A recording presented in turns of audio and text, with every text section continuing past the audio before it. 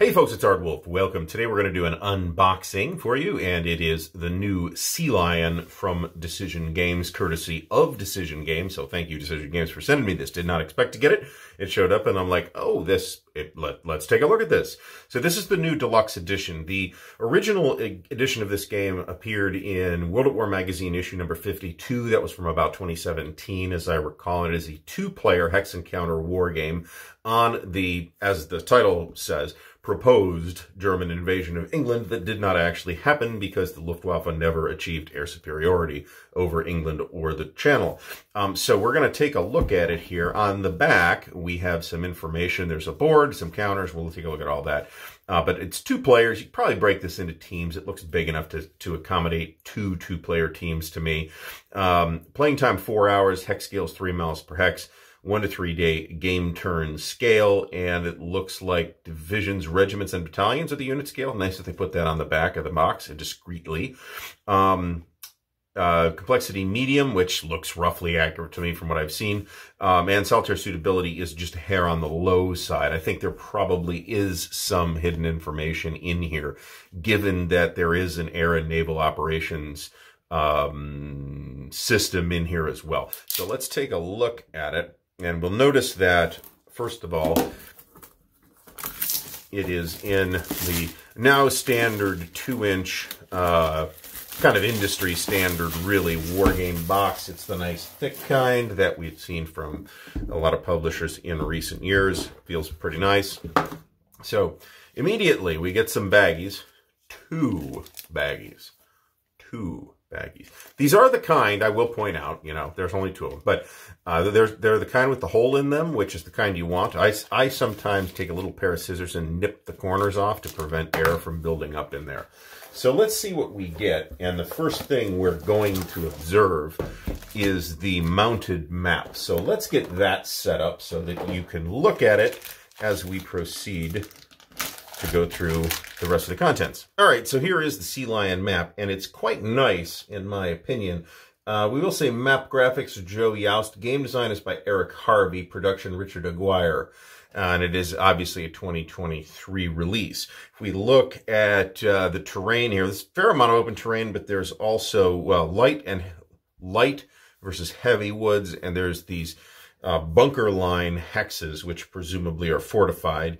And then there's some unfortified bunker line hexes up here as the Germans presumably come in. Pretty nice looking map. Uh, it is a mounted map, if I didn't say that already, and I thought I did, but if I didn't, it's mounted map. Um, and it is pooching a little bit, but not too much. Um, it will lay flat, I'm sure, in the fullness of time. The rule book. Instructions. Um, this is a 40-page rule book. There are some sources immediately that I notice on the back um, that were drawn upon to flesh out this hypothetical situation in uh, a war game, including a couple of websites, at least a couple of which are in German, and some actual historical documents as well. And looks like there's, uh, well, let's take a look at the rules. So, matte finish, as we said, 40 pages. Uh, table of contents looks well done. It looks, you know, hey, I can actually find stuff in here. That's fantastic. Um, it is full color. Uh, not seeing that it is lavishly illustrated, but it uh, it looks fine. Uh, and it uses the sort of new typeset layout that Decision's been using for at least a couple of years now, which I actually like quite a bit. Um, there are uh, high, uh, highlights are uh, important notes are highlighted in red and it looks like uh, examples are highlighted in blue. Does it actually say that? Indeed it does. How about that? Right first sentence in the rule book actually says that. Zones of control.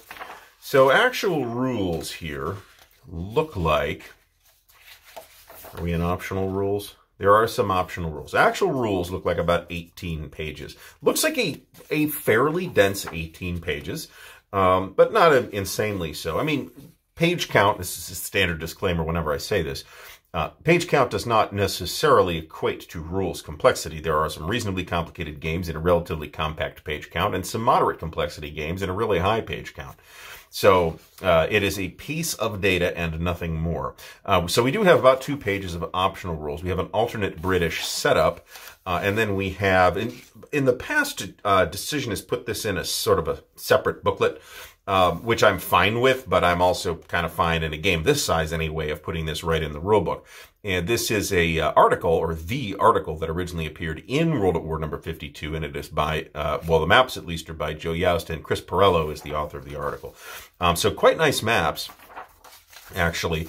Uh, this will be interesting to read, actually. The uh, These historical articles uh, uh, by average tend to be very good, very good to excellent. Uh, so I look forward to giving this a look. And here we have uh, some British forces uh, deployments in September 1940, which is pretty cool. British radar network. That's actually pretty cool as well. Uh, little sidebar. Is it a bluff? Well, not in this game. And we have two, whoops, we've got some player aid cards as well. All right, so we have two player aid cards that are identical. Terrain effects chart on one, and then uh, looks like a little bit of structure for air combat and naval airstrikes on the side. And then on the other side, we have a CRT, and it looks like the system on here sounds actually kind of interesting. Um, in the sense that you're really not calculating odds or anything, you're just determining fire superiority. Uh, or, you know, defender uh, attacker total strength is three times defender total strength. So you're meeting conditions rather than those conditions just being odds. That's interesting. I'm very curious to uh, to see how that works in practice. Now there is uh, what I'll I guess call a, a counter sheet and a, about a quarter. Um, 280 counters there. They are half inch counters. They're on the new thicker stuff. They feel pretty good. Um, I will say that some of the factors are, well, most of the factors on the counters are white. Uh, and against this quite light gray and this even lighter tan, uh, I don't feel like that white is necessarily showing up all that much. For the, the unit symbols, the interior of the unit symbols, it's completely fine. Uh, for the factors, I feel like that's just a little bit hard to read. Um, otherwise, uh, they look pretty good. Registration looks great. Uh, these are, I have handled these uh, newer um, decision counters and they're really nice. They're nice and thick brown core stock. And it's certainly a treat to uh, have counters this nice, uh, you know, after recently punching and clipping and organizing a lot of stuff from the old days. Uh, but yeah, it looks like about uh, eh, 300 counters or so. That's so that's going to be 240. That's going to be 60. So it is going to be 300, 300 counters. This is going to be 280. Uh, so this is going to be 60, so 340 counters.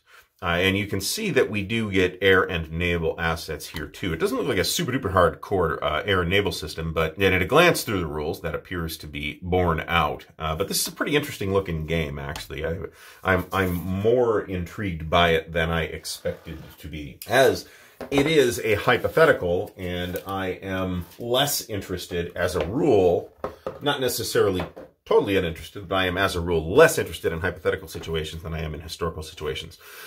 Sea Lion Deluxe Edition, brand new from Decision Game, looks quite sharp. If this is a topic of interest to you, you may want to give this a look. It's nicely presented.